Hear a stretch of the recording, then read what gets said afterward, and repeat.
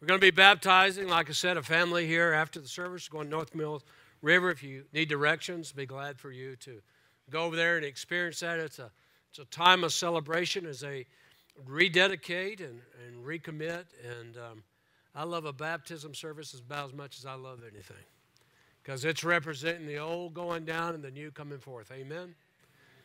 Again, I'd like to, everybody that participated in VBS, would you stand, please? We just like to thank you for your work and your labor. We just bless you. Let's give them a hand.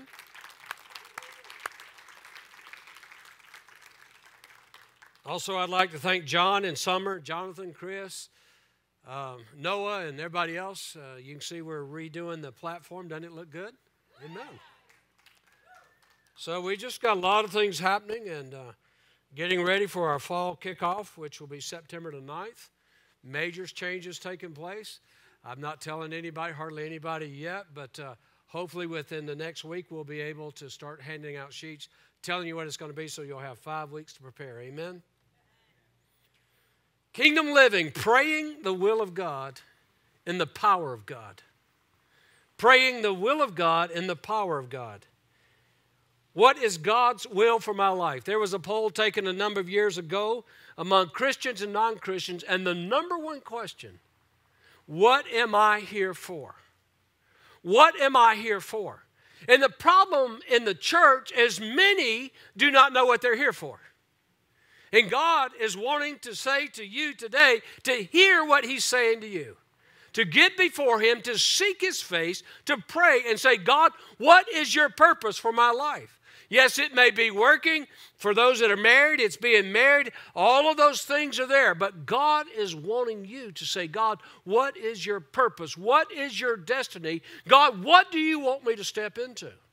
And God wants you to pray. I, am going into a season of, of study and prayer because I believe with the shifting that's coming place, there is something more that's going to be required of us. I know it is of me, and I believe it is of other people. So, how do I pray the will of God in my life? Um, I'm going to read to you the uh, uh, from 1 John 5 1 through 15 in the New King James Version, and then I'm going to read the Passion and then I'm just going to kind of talk and preach and do whatever. Amen. Verse 1 Whoever believes that Jesus Christ is born of God, and everyone who loves him, who begot and also loves him, who is begotten of him. By this we know that we love the children of God, when we love God and keep his commandments. For this is the love of God that we keep his commandments, and that his commandments are not burdensome.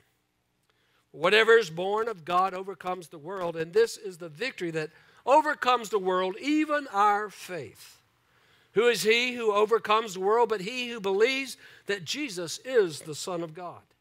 That is, he who came by water and blood, Jesus Christ, not only by water, but by water and blood. And it is the Spirit who bears witness, because the Spirit is truth. For there are many for there are three that bear witness in heaven the Father, the Word, and the Holy Spirit, and these three are one. And there are three that bear witness on earth the Spirit, and the water, and the blood, and these three agree as one. If we receive the witness of men, the witness of God is greater, for this is the witness of God which he has testified of his Son. He who believes in the Son of God has the witness in himself. He who does not believe God has not has made him a liar because he has not believed the testimony that God has given his Son. And this is the testimony that God has given us eternal life, and this life is in his Son. He who has the Son has life, and he who does not have the Son does not have life. These things I've written to you who believe in the name of the Son of God, that you may know that you have eternal life, and that you may continue to believe in the name of God. Now, this is the confidence that we have in Him that if we ask anything according to His will, He hears us. And if we know that He hears us, whatever we ask, we know that we have the petitions that we have asked of Him. The Passion Translation Everyone who believes that Jesus is the Messiah is God's spiritual child and has been fathered by God Himself. Everyone who loves Father God loves His children as well. This is how we can be sure that we love the children of God by having a compassionate love for God and by obedience to his commands. True love for God means obeying his commands, and in his commands don't weigh us down as heavy burdens. You see, every child of God overcomes the world, for our faith is the victorious power that triumphs over the world. So we are the world conquerors, defeating its power, those who believe that Jesus is the Son of God.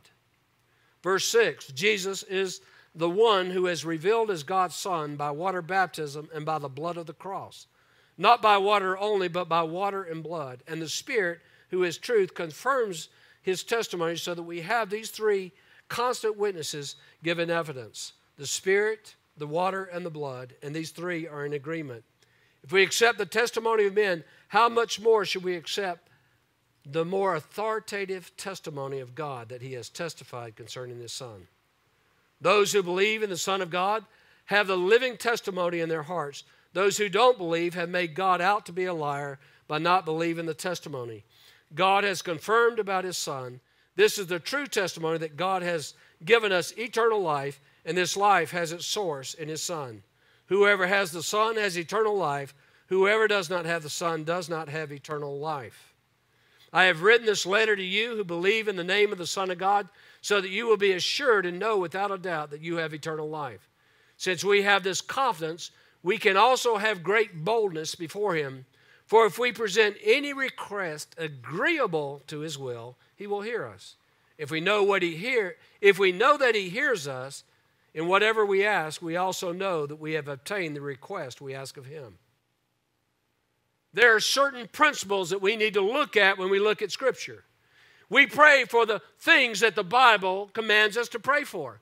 The Bible says that we are to pray for our enemies. Those are the people that use you and abuse you.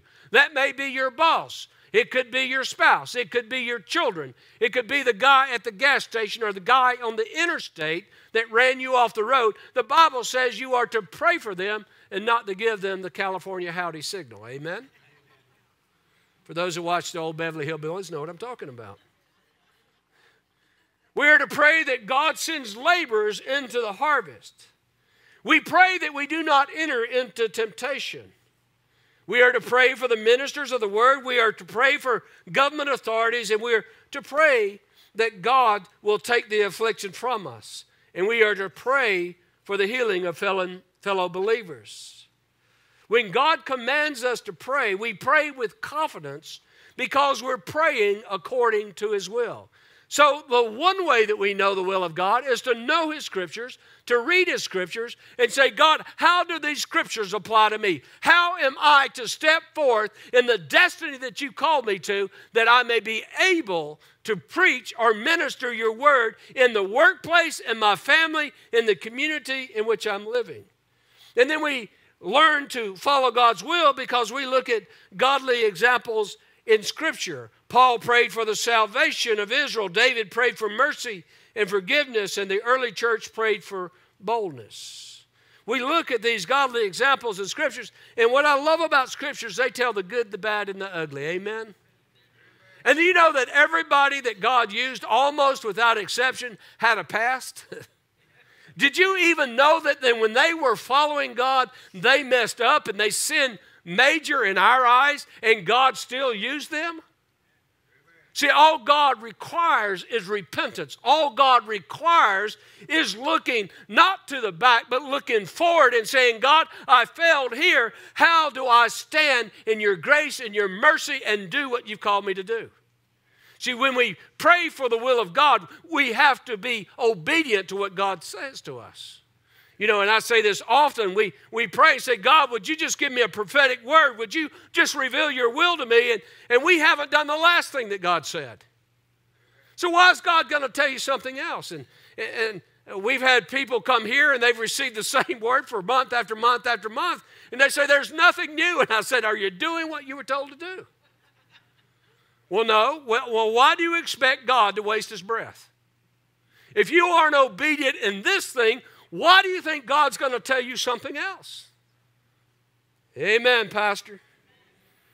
We see in Scripture that there is a seeking, there is a pursuing, and there is a praying that God's will will be done. Gideon, I love Gideon, you know, he's thrashing wheat and, you know, he's hiding from the enemy. And the angel of the Lord speaks up to him. And, and, and Gideon says, Why have these things come upon us? And that's what Christians are saying.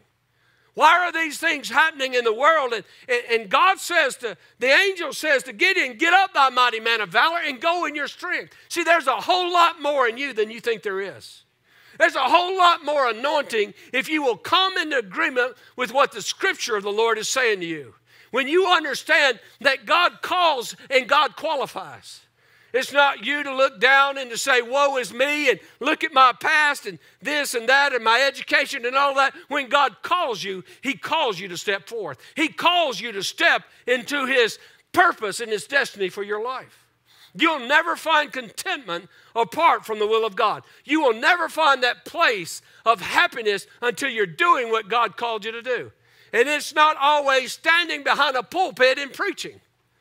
God needs people out there more than He needs people here. You're the, you're the change agents. You're the ones that's going to go out and bring the kingdom of God into that workplace. You're the one that's going to bring the kingdom of God into your community, into your family, into your relationship. You're praying for God to do something great, and God is. He's saying, Are you going to step forth? Are you going to be a part of the plan that I have for you to redeem the world in which we live? God is looking for men and women, for boys and girls to go forth and to do great things. And then we have to pray with the right motivation and heart. Selfish motives will never be blessed by God. One guy said, God can't be real. I prayed for a million dollars and didn't get it. Really? For you to even pray for a million dollars so you could buy whatever you want to shows that your motives and your heart's not right. Now, if you say, God, I want you to give me a million dollars and I'm going to give $999,000 for missions, then God may give it to you. But He may want you to give the whole million. Are you going to be willing to do it? See, we pray and we have selfish motives in our heart. We're, we're, we're saying, God, I want this and I want this and I want this. But is it that God receives the glory or that you receive the glory? Is it that you spend it upon your own self? See, when God blesses financially, what often He is testing is how much are you going to bless His kingdom and how much are you going to keep for yourself? This isn't an offering message. This is a principle. It's a kingdom principle that we need to understand that God is looking for hearts that are willing to give. God is looking for people who will pray according to his will. James 4 3 says, When you ask, you do not receive because you ask with wrong motives, that you may spend what you get on your pleasures. As I've said, and you've seen the many studies, people that win the lottery, those precious few out of millions and millions and millions of people that pay their money all the time, they're broke within a year to two years or three years because they've not developed the character to handle what God has given them. And it is the same within the church. Until the character is developed, God's not going to release His greatness in His Spirit. He's not going to release His anointing. And, and, and, I've been reading some this week, and I had a really amazing conversation with a, uh, an apostle out of South Africa. We went. We were going to meet for an hour. We spent two and a half hours together, and we reconnected and with vision and, and, and what God is saying and what God is doing. But God is looking for a people that will take time and hear what the Father says and then begin to speak it out. He's looking for men and women that will hear his voice first before proclaiming it. We have Pastor Todd here, we have Gary, we, we have other gifted teachers and pastors and anointed. You can give us an outline and we can stand up and preach for 45 minutes or an hour and not miss a beat because we've done it year after year after year. Some of you got the gift of gab. All you need is a, a, verse and you can get up and you can go. But that is given what you have and not what he has said. And so this is really kind of rocked my boat and, and what he said because God was speaking to me through some things. And he said, I need you to draw more aside for a season of timing. God says, You know, Greg, I want more of you. And then we have to pray with forgiveness towards others. The spirit of bitterness and revenge and anger only prevents us from doing what God really wants us to do. It keeps us from the provision of God, from the mercy of God, from the grace of God. It keeps us from our healing. It doesn't keep us from His mercy and grace. Let me correct it, because there's people on Facebook who say he, he preached heresy. Nothing can separate us from the love of God, the grace of God, the mercy of God, the righteousness of God. Amen. But our sin can separate us from God. Our attitude can separate us from God. Mm. We want to hold our bitterness and our anger because we think in keeping that to ourselves, we have power over the other person. No, they have power over you. They're keeping you from what God has for you. You must. When I'm praying for healing, uh, one of the first questions I, I ask most of the time is Do you have unforgiveness in your heart? And you will be surprised how many been in the church for years says yes. well, have you forgiven them? Well, you don't know what they did to me. Well, look what they did to Christ. If they did that to Christ and He forgave them, I think you can forgive what happened to you. Well, I don't like that. I know you don't. So I, I, I, lead them in a prayer of repentance.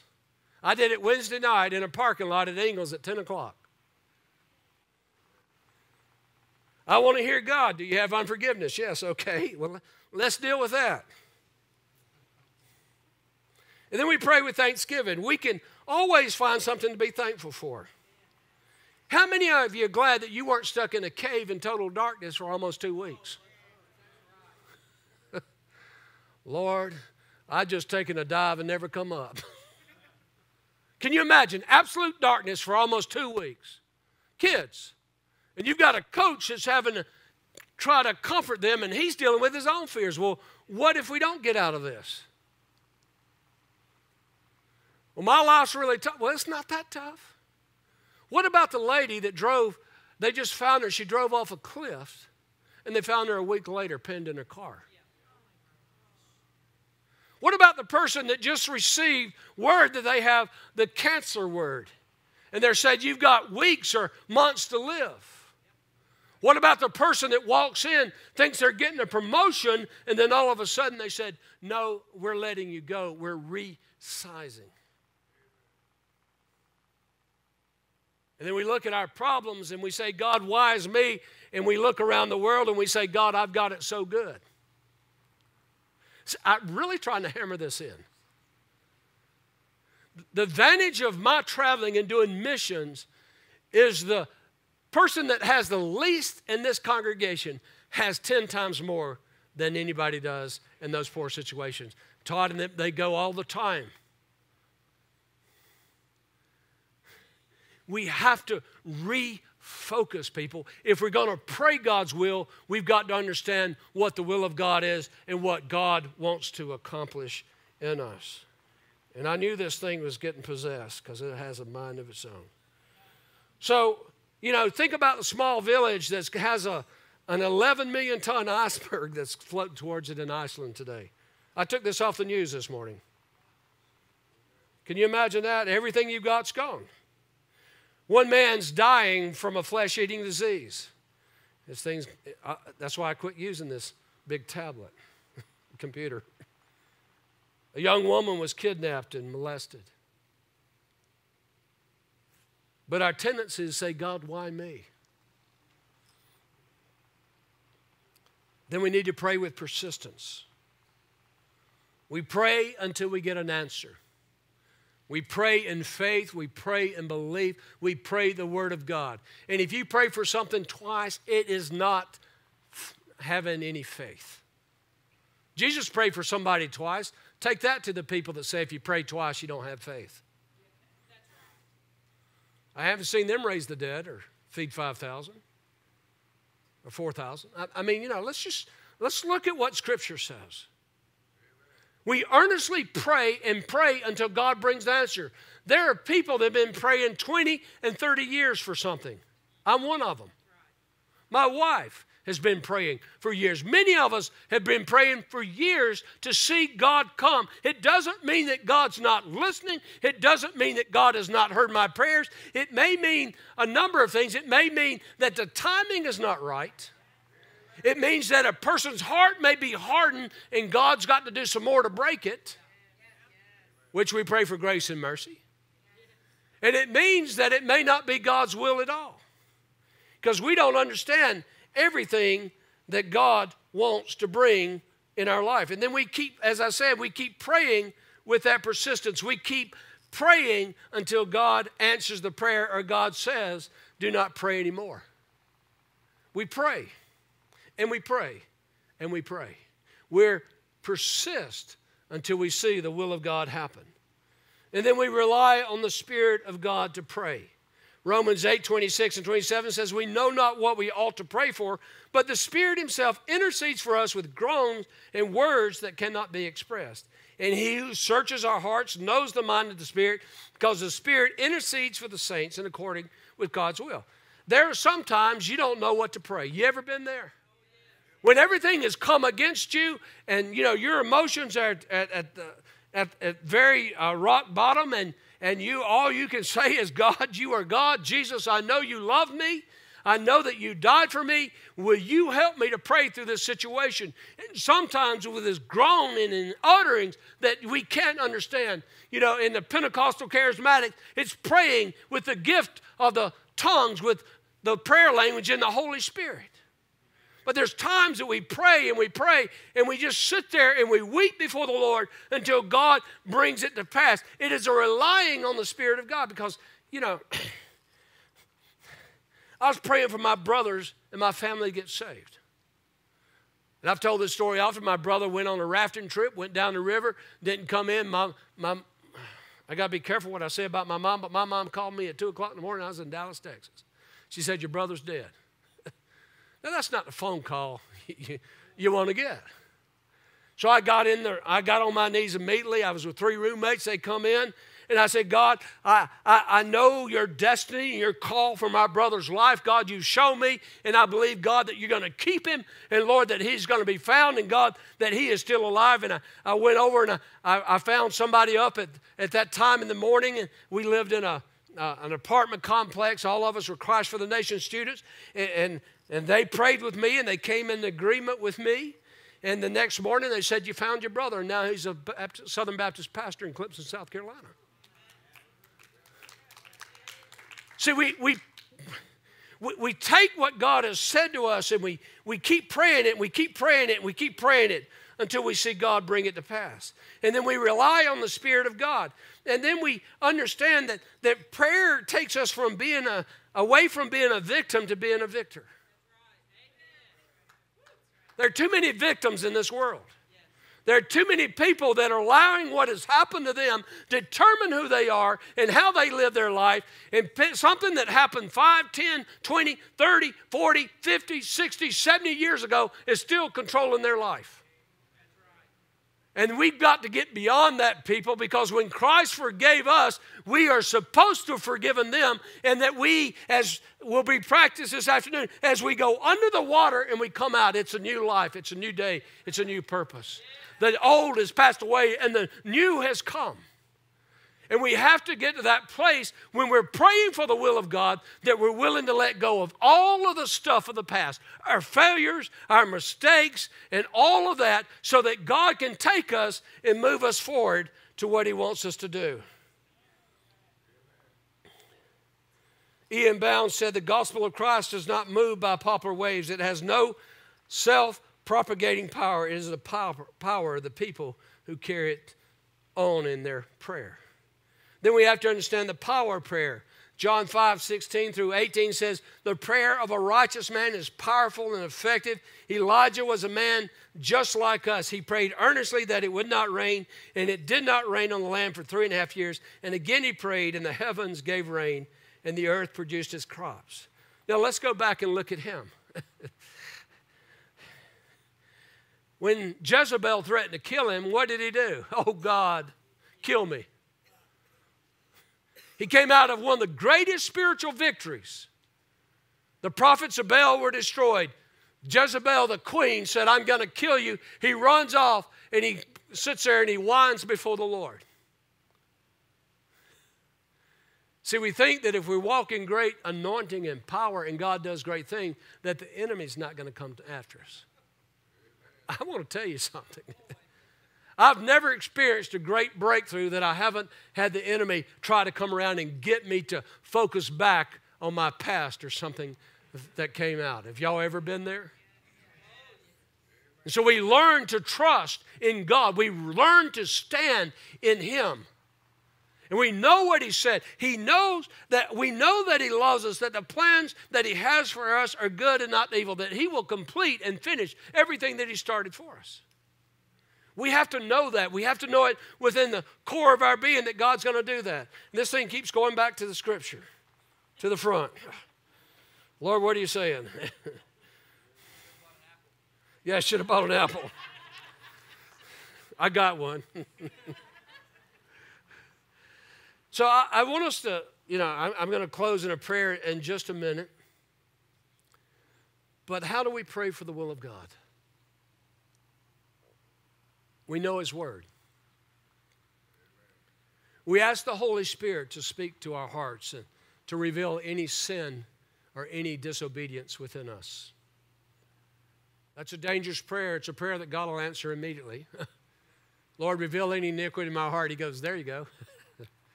what are you going to do with it? It may be a person's face flashes up. It may be a situation or something that happened in the past, something that you did. And I'll tell you something, you'll never step into the will of God until you learn to forgive yourself. Because we've all failed people. And if you haven't, we deal with pride and arrogance, and we can get rid of that spirit for you. Amen? We take care of it. You're no better than anybody else. You have everything you have because of the grace of God and the mercy of God. Yes, you may listen a little bit faster. You may hear the Lord a little bit more clearly. But if you still aren't doing what He calls you to do, you're just the same as the person that's never accepted Jesus Christ. You're in rebellion to the will of God. I know this is hard. But some people keep circling that mountain for a year up to 60, 70, 80 years. And they don't understand why there's not victory. They don't understand why things don't change because they keep allowing the enemy to bring them to that place.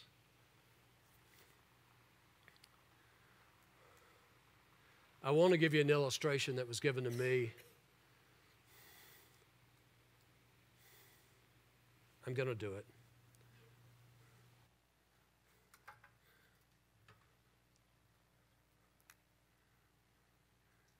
This is one of the things that I am, God is really beginning to, has been speaking to me and trying to understand it. This is what we will call transformation.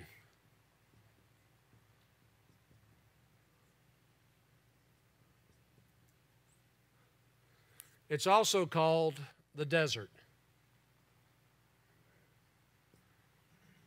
It's also called the place um, St. John called it the uh, night, I think it was the night of the cross. Dark night of the soul, there we go.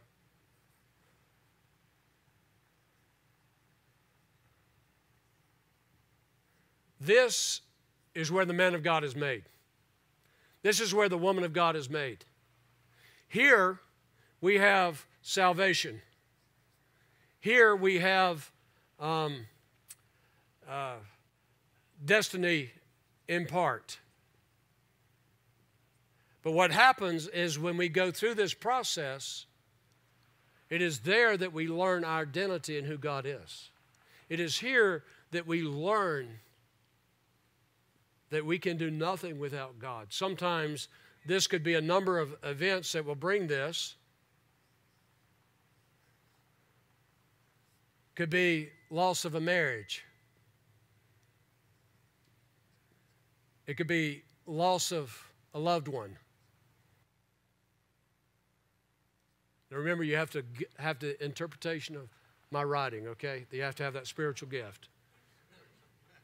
And this could be loss of a job. But what this is, is a crisis point in your life. And in this crisis point, you have to know that God is God, that God is good, and that God is love. And that God has his destiny and his purpose on your life. And it is through this desert experience, it is through this um, debar, this place of isolation and desolation, that saints, men, and women of God are made. You go through this process, but what you have to understand when you are here, and you may have received healing, emotional, physical, you may have received deliverance, you could have gone through a number of different things, but what happens is the devil will come from every area that he can to get you what? To deny what? Your identity of who you are in Jesus Christ. When Jesus went into the desert, what was the one thing that was attacked consistently was his identity as the Son of God. And that is what the enemy is going to do to you. And you understand why God healed you physically, emotionally. You were delivered, and you you you receive this reprieve and this great enlightenment and this empowerment and this vision of God. And then all of a sudden, all hell breaks loose. And you can't point to sin, you can't point to rebellion, you can't point to anything else. But all of a sudden, the enemy comes with such might and power, you begin to doubt if you're even saved because the devil came to destroy your identity and your testimony in him. And it is in this process that we learn that who we are in Christ, and we may operate without a level of power and anointing because God, you have to know as God calls you forth that He is God and you are not that He has called you, that He will sustain you, and He will keep you. But if you run by your emotions and by your feelings and let all this doubt and unbelief come in that the devil and other people will push at you, then you're going to go back to this point. And then God is going to allow, He doesn't bring it, He's going to allow another event to come because what he wants you to do is come from this place of transformation, this place of difficulty, this desert experience, and you will know without a shadow of a doubt that God loves you. That his plans for you are good and not evil, and everything around you is saying different, but you know in whom you have believed. Amen? So when you go beyond this place here and you come into here, it is new levels, new angels new levels, new call. It is a new sense of destiny and birthing of what God has brought you into because it is at this place that your character has been defined or uh, redefined. Your character has been strengthened. Your calling has been undergirded. That God is speaking and you are listening to what He's saying and you don't care what He says, you do it. You don't whine, you don't complain, you don't say, Why me, God? You don't do any of that. You say, Yes, Lord, I know that you love me. I know that you will sustain me. I know that you will keep me. I know that you will empower me to do anything that you call me to do. It is at this place that the world is changed. It is at this place that Christian, mighty men and women of God are born. It is this place where we move out of the temporal life and we say, God, I want to do that for eternally what you have called me to do. I want to bring your kingdom to the world in which I live. See, this is where God is wanting everybody to come, but too many people live out of their emotions. Too many people live out of their failures. Too many people live out of all of the stuff that's happened to them, and they don't understand that God has called them to be mighty men and women of God. He says to the Gideons in this sanctuary and the Gideons that are listening on Facebook, He is saying to you today, rise up, mighty man and woman of valor, and go in the strength that is in you because the Holy Spirit resides in you. It is this that God has called us to do. That we walk in the power and the authority that God's given us. And all of this stuff is stuff. It doesn't affect my destiny. It may affect my destiny if I don't obey it, but I'm going to heaven. But I, I don't want fire insurance. I want to get to heaven, and God says, Well done. It took you a while to understand it, but man, them last years were good ones. I'm determined to go out wide open, burning for the Lord. I've had 61 years of sitting on my duff, not really, but I'm determined that my end year is going to be radical. I tell my wife that all the time. I want more radical. I want more crazy for God because I want to change the world in which I live. I've had all of this stuff, and this stuff's going to come. I'm not saying that I'm through it. But I've, been through it, and I'm here, and I just want to make sure that I don't start listening to all the naysayers and all the people. Because God's calling us for something far greater than we've ever experienced. God is calling us to step into a future that's going to change the world in which you live today. You can have, you know, you can have itching ears and go hear what you want to hear. But this is the message that's changing the world. It's not five points to have a better marriage. I, I know I'm going to say this. Get your heart circumcised, and you'll have a better marriage.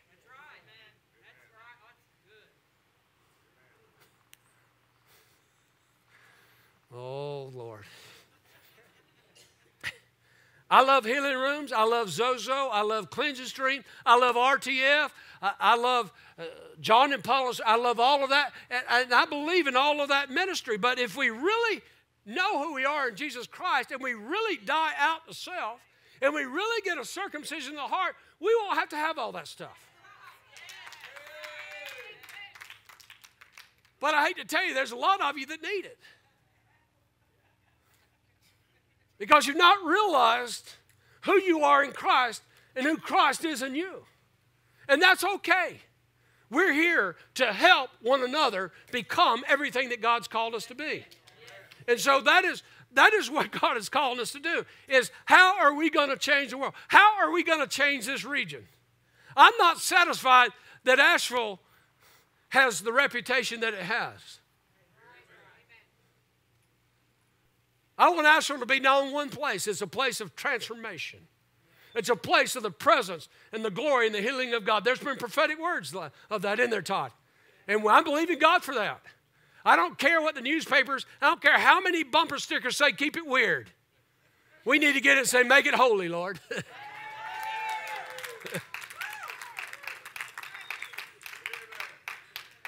but you ought not to talk like it. Why not? That's how God talks. He spoke and it happened. Jesus heard, he spoke and it happened. Jesus was fully God, fully man, just like you and I. He was God, he was without sin. Hear what I'm saying. Theologically, hear what I'm saying. But he had to depend upon the Father to hear the Father's word, and when he spoke it, it came to pass. He was demonstrating our life in him. He divested himself of all of his power and all of his glory. He spent time with the Father praying and hearing and listening. And when he spoke, he spoke what the Father had revealed. That's what Scripture says. He only did what the Father showed him. The problem with us, we hear something and we've not been able to distinguish whether it's the Holy Spirit or another spirit. Because we still got so much stuff in our life that we're hearing all of the other voices. We've not died out to self and we've not let God do what He wants to do in our life. God requires one thing of you and one thing only, and that's your death.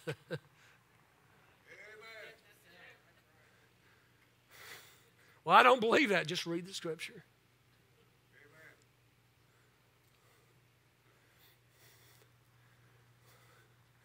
Oh, Lord.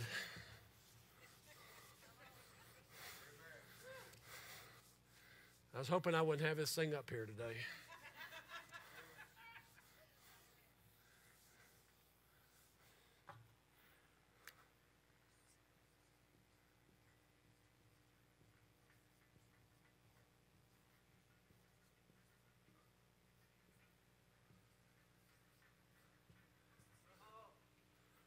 It's the church of all about me. That's the church today. In a lot of places in the world, it's all about me. It's about my preference. It's about my likes. It's, it, it, it's nostalgic when I remember back to the good old days, and, and most people, uh, they, they weren't really that good.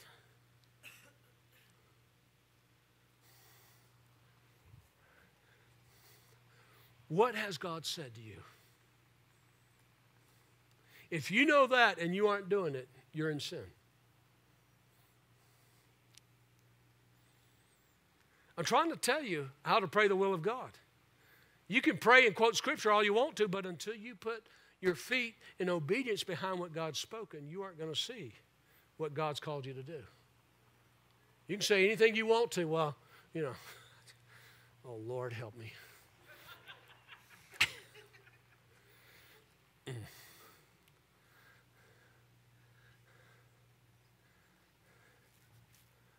God has enough people navel gazing. He needs doers.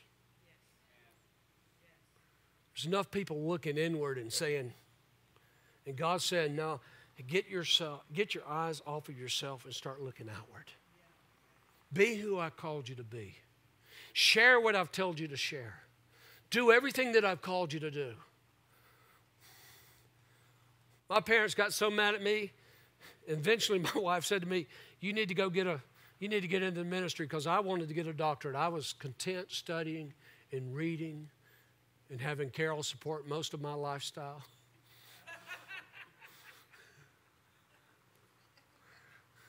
Because I was doing the work of the Lord. I was preparing myself. no, I was doing everything I could to keep out from doing what God called me to do. Y'all know it's true. Well, I need one more course on witnessing before I share. No, you don't. Just go out and tell Jesus. Well, I need to get a Bible education before I can teach a Sunday school class. No, you don't. Just love people and, and share what God gives you.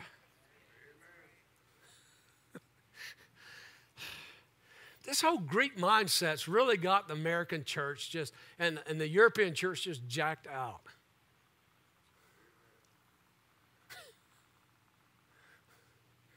It's not about here, it's here. It's here. Out of the abundance of the heart, the mouth speaks. Out of the depth of our spirit, God speaks. God brings forth His word out of the depths of our spirit. We must understand that God has called us for such a time as this. What is the will of God? That is between you and the Lord. But don't ask God what His will is if you aren't willing to obey it. Because all you're going to do is bring hardship upon yourself. I'm just, I'm telling you, I, I've read this and I've walked through it. God, what's your will for me? Well, you haven't done what I asked you to do the last time, Bubba.